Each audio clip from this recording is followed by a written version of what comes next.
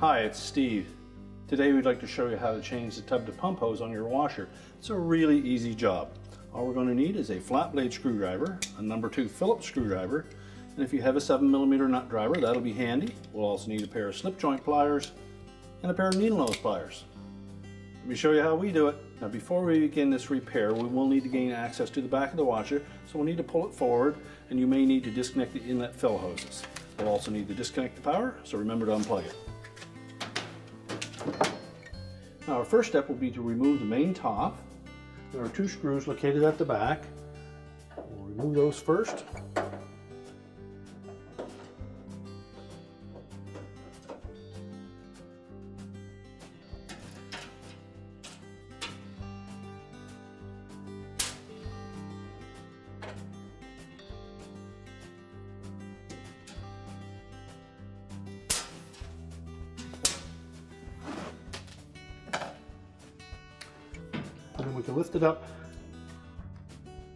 Set it aside. Now next we'll need to disconnect the wire harnesses that go to the control panel. So just release the little harness retainers first and then separate each of the individual harness connectors by depressing the locking tab and separating them.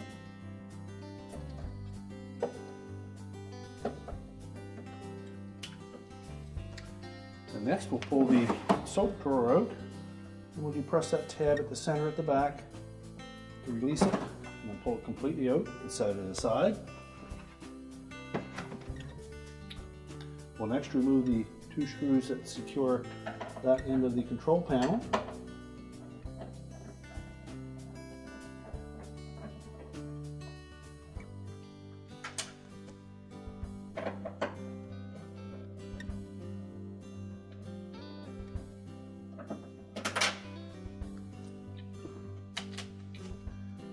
Some models have a screw on the back, the right hand end of that control panel. You'll need to remove that if your model has it.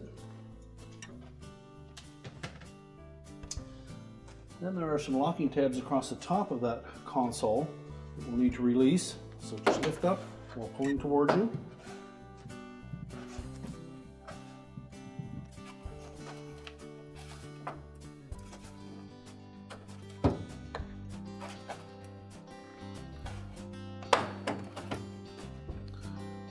Released, just lift up gently on it to disengage it from the front panel. And pull the wire harnesses through that opening and we can set the console aside. Now with the console removed, our next step will be to open the door up and we'll disengage that door boot from the front panel. There's a little spring at the bottom. We'll take our flat blade screwdriver, just go between the spring and the door boot and pry that spring away and that will release the band clamp. We'll set that aside and then just peel that door bellows away from the front panel and just tuck it into the opening. We'll also want to remove the two screws that are attached to the door latch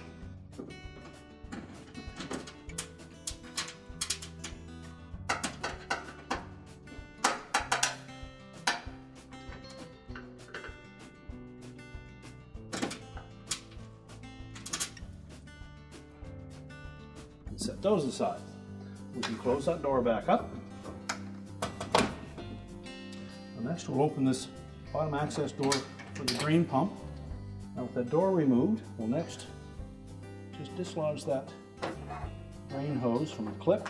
Then we'll remove the single retaining screw at the bottom.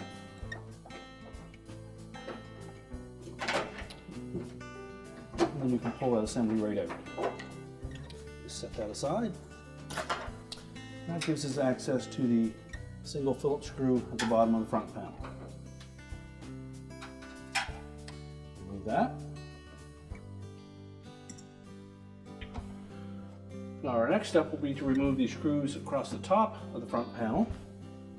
You can either use your Phillips screwdriver or your 7mm nut driver on those.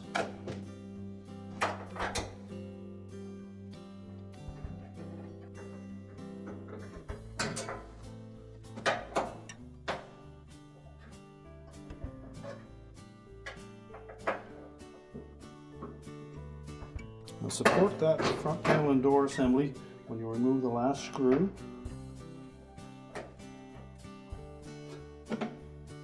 And just tilt it forward and then lift it off the base and set it aside.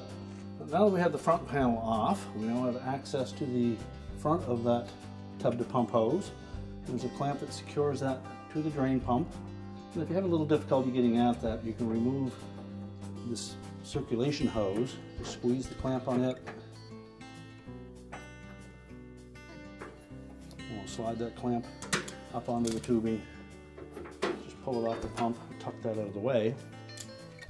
So we'll need to remove this clamp on the back of the pump. We'll also need to remove the screw type clamp that is securing that hose to the bottom of the tub. And there's also another spring type clamp at the back that secures it to the air dome tube. So we'll need to take the back panel off to access that and the screw type clamp. But from the front we can access the spring clamp. So we'll just squeeze that together and slide it down onto the hose. Then you can pull the hose off the pump. Now there may be some water in that pump. Use this drain, just pull that drain plug out and drain it into a dish. It won't get rid of all the water, so there will still be some that will come out the back when you pull that hose off. So I have something there to clean that up. Once we've got that done, we can then go to the back of the washer and remove that back panel. So to remove this back panel, we just need to take these four screws out.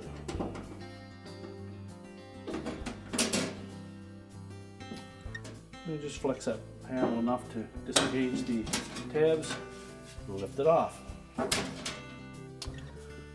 So next we'll remove this top screw on the air dome.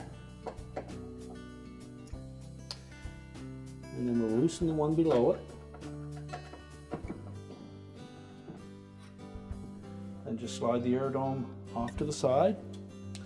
And using our pliers we're going to reach in. And we'll grasp that clamp and pull it off the hose.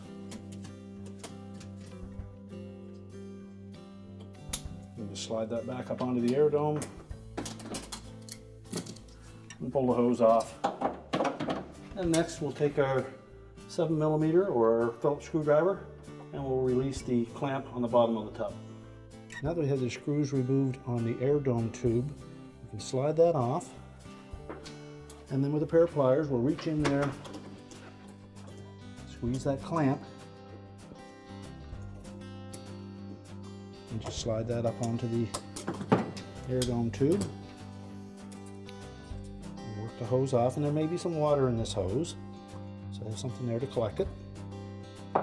Next, we'll loosen the screw on the clamp at the bottom of the tub using either the 7 millimeter nut driver or your Phillips screwdriver.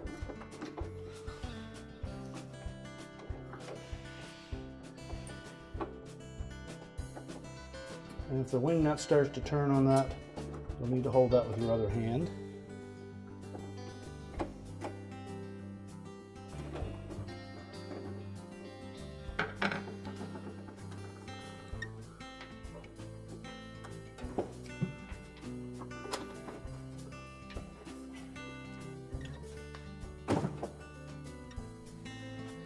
And next we can remove the clamp on the inlet to the pump. And to give you a better view, we will remove that circulation hose. Just squeeze the clamp, pull that up, pull the hose off. So our next step is to remove the clamp on the back of the pump. We'll just squeeze that with our pliers. We'll slide it down onto the inlet hose and then pull it off. We'll begin by sliding the clamp onto the new bellows hose. And we'll make sure that it fits into the little groove on the upper portion.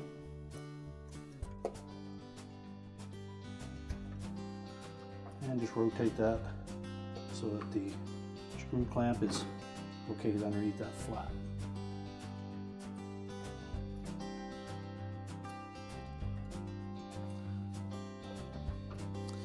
Next we'll put the spring clamp on the outlet. Just slide that on up the hose.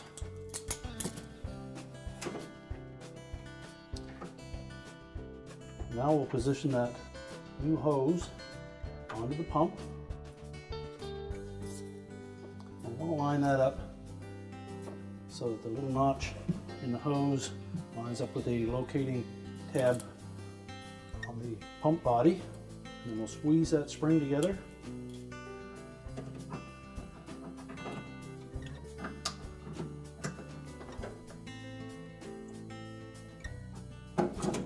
Pull it up into position. Make any adjustments that you need to make sure that the hose lines up properly. And now we'll connect it to the bottom of the tub. Now we've put a little bit of liquid detergent on the inside of that hose so we can slide it onto the tub outlet a little easier. So just make sure that that hose is firmly onto that outlet from the tub and then we can tighten the clamp.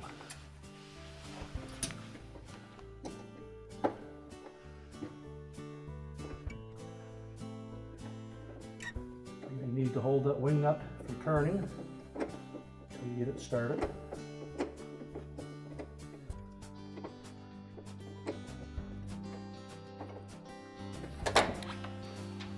So next we'll put the air dome tube onto the end of the hose. So we'll put a little bit of liquid detergent in the inside of that hose line that up with a slot in the hose.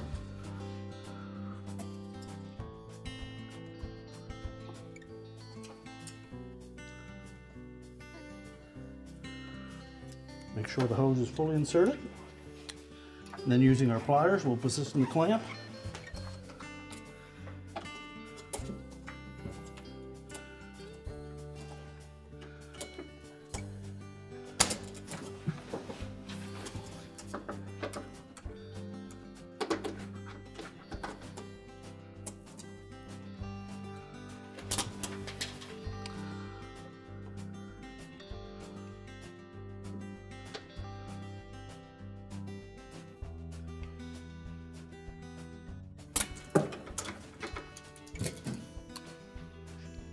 Set the air dome onto the mounting at the back.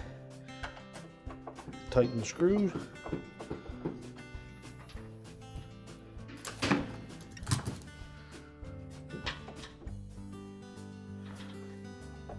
And if you've removed the hose from the circulation pump, we'll next need to reinstall that. With the hose properly secured to the pump, we can then put the circulation hose back on reposition the clamp on that as well.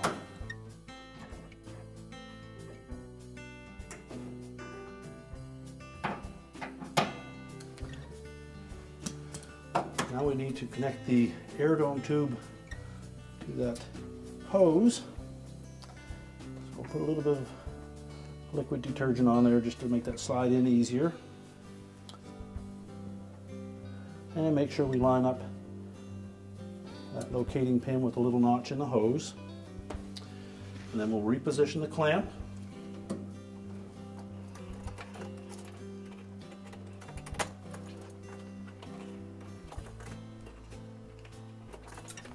I'll just slide that clamp down onto the hose. Make sure that we've kept it lined up. Reposition it.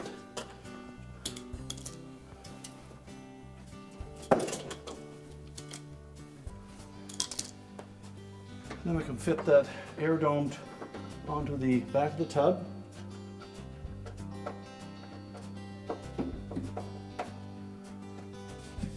Now we're ready to put the back panel on. Line up the tabs, just flex it enough to get the top tabs in. And then we can install the four retaining screws.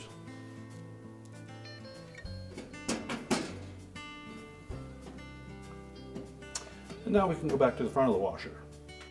So we're now ready to put the front panel back on. So we'll start by lining up the slots on the bottom of that front panel with the little tabs on the base. And we'll tilt it into position. And and then we'll secure it with a couple of screws across the top.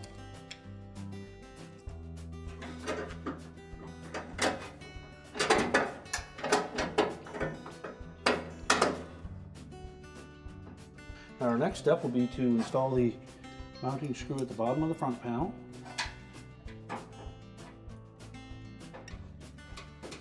Tighten that securely. And we'll put the insert in, slide the hose through the opening, install the retaining screw,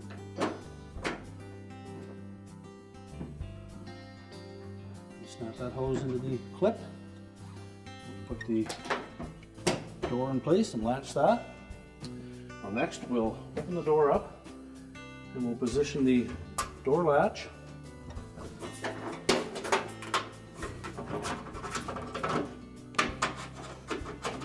Just line it up in the opening, install the two retaining screws.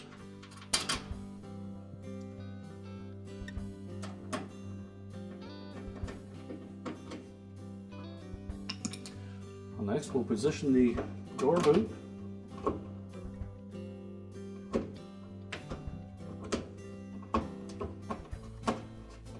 we need to make sure that the door boot the V of that door boot fits into that channel on the front panel.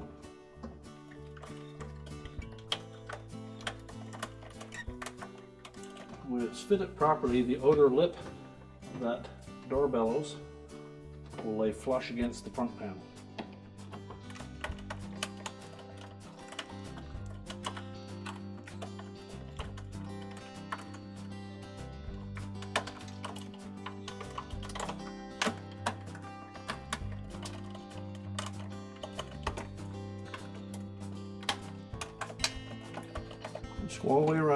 Make sure it's tight. Next we'll install the band clamp. We're going to position that spring at about the six o'clock position. So we'll fit the wire of that band into that groove as far around as we can get. And then we'll take our pliers. We're going to grasp that hook on the end of that wire band and we're going to pull it towards us to stretch the spring while we fit the rest of the wire in. Make sure that you pull the spring towards you and not away from the front panel.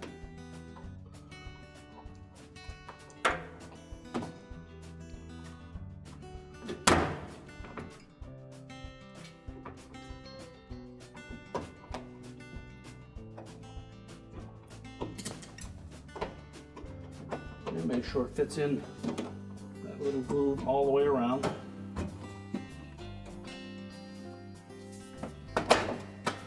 Now we can continue to put the screws in at the front panel.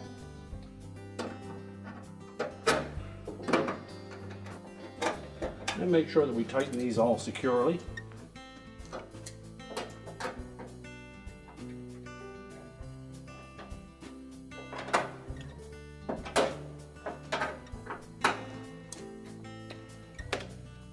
Now next we can put the console back on.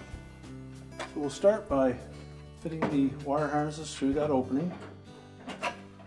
And then we'll line up those tabs on the bottom with the slots in the top of the front panel.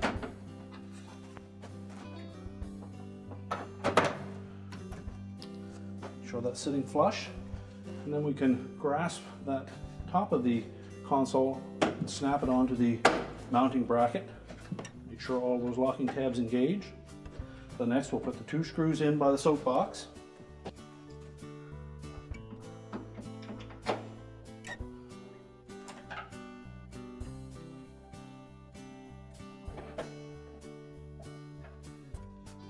And if your model had the retaining screw on the right hand corner, we'll install that next. We'll reattach the wire harnesses.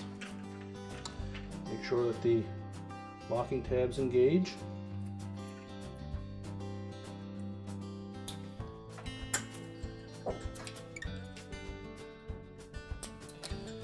And then slide them into the harness retainers.